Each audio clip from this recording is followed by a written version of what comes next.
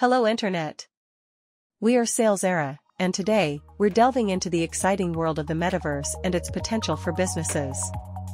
Before we plunge into the metaverse discussion, it's important to acknowledge that metaverse, Web 3.0, extended reality, and other such buzzwords aren't fully realized yet. Nevertheless, their hype in the media is impossible to ignore. Like many other technologies, the vision of metaverse comes from science fiction. The term metaverse was originally coined by Neal Stephenson in his 1992 sci-fi novel, Snow Crash. In Stephenson's vision, the metaverse was a virtual realm accessed through a head-mounted display. So, what exactly is the metaverse? It's a concept that envisions the internet as a single, universal, and immersive virtual world, brought to life by virtual reality and augmented reality. In the metaverse, users can interact with each other and digital content in a way that's more realistic than our current online experiences.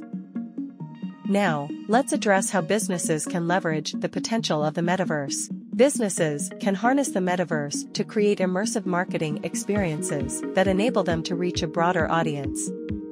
For instance, they can establish virtual stores or showrooms where customers can interact with products and services.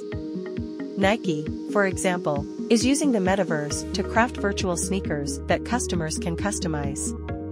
H&M has even organized a virtual fashion show in the metaverse, allowing users to witness models starting their latest outfits. Metaverse could also serve as a testing ground for new products and services. Businesses can experiment within this virtual environment, usually known as a digital twin, before launching their innovations in the real world. For example, automobile manufacturers like BMW, Mercedes-Benz, and Audi have ventured into the extended reality domain to design their upcoming products.